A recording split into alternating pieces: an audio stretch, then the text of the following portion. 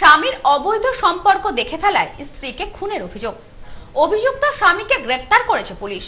অভিযোগের ভিত্তিতে ঘটনার তদন্ত শুরু করেছে পুলিশ। স্বামীর অবৈধ সম্পর্ক দেখে ফেলেছিলেন স্ত্রী, আর সেটাই কাল হলো। জীবনের মাসুল দিতে হলো বছর সাঁত্রিশের অনিমা সাহাকে। স্ত্রীকে শ্বাসরোধ করে খুন করার অভিযোগে গ্রেপ্তার স্বামী অরবিন্দ সাহা। উত্তর চব্বিশ পরগনার বসিরহাট মহকুমার মাটিয়া থানার ধান্যকুড়িয়া গ্রাম পঞ্চায়েতের পণ্ডিতজি কলোনির ঘটনা। স্ত্রীর অপরাধ, তিনি স্বামীর বিবাহ বহির্ভূত সম্পর্ক দেখে ফেলেছিলেন। তবে তার মাসুল যে তাকে জীবন দিয়ে চোকাতে হবে, তা হয়তো কল্পনাও করতে পারেননি হতভাগ্য সেই স্ত্রী। যার ফলে খুন হতে হলো স্ত্রীকে। যদিও খুন করে পার পেলেন না অভিযুক্ত। গ্রেপ্তার গুণধর স্বামী। ন্যাক্কারজনক এই ঘটনাটি ঘটেছে উত্তর চব্বিশ পরগনার বসিরহাট মহকুমার মাটিয়া থানার ধান্যকুড়িয়া গ্রাম পঞ্চায়েতের পণ্ডিতজি কলোনি এলাকায়। জীবনের মাসুল দেওয়া বছর সাঁত্রিশের স্ত্রীর নাম অনিমা সাহা। গুণধর স্বামী বছর বিয়াল্লিশের অরবিন্দ সাহা। ঠিক কি ঘটেছিল সেদিন? স্থানীয় সূত্রে জানা গেছে, দীর্ঘদিন পারিবারিক অশান্তি চলছিল দম্পতির মধ্যে। জানা যায়, স্বামীর বিবাহ বহির্ভূত সম্পর্ক সম্প্রতি ধরে ফেলেছিলেন স্ত্রী অনিমা। এই বিষয়টি নিয়েই গত তিন দিন ধরে তাদের মধ্যে অশান্তি চলছিল। এরপর পাশের ঘরে ঘুমন্ত অবস্থায় থাকা স্ত্রী অনিমাকে শ্বাসরোধ করে খুন করে অরবিন্দ। এমনটাই অভিযোগ স্বামীর বিরুদ্ধে। এই খবর গোটা গ্রামে জানাজানি হতেই ক্ষোভে ফেটে পড়েন গ্রামের মানুষ। স্ত্রীর দেহ উদ্ধার করে স্বাস্থ্যকেন্দ্রে নিয়ে গেলে চিকিৎসকরা মৃত বলে ঘোষণা করেন।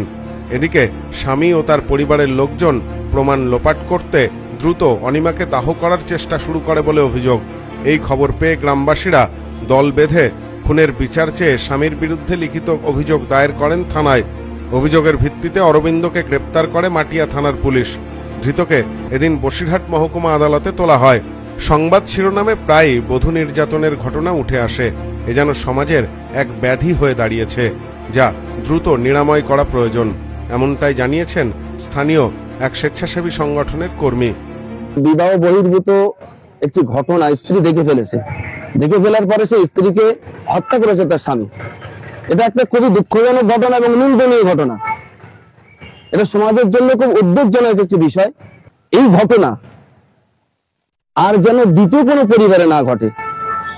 আমি একজন মানবাধিকারের রাজ্য এক্সিকিউটিভ প্রেসিডেন্ট হিসেবে প্রশাসনের কাছে আবেদন করব এর পূর্ণাঙ্গ তদন্ত করে, পূর্ণাঙ্গ তদন্ত করে দোষী যেন তার যথাযথভাবে তার যোগ্য শাস্তি পায়, সেই ব্যবস্থা করুন।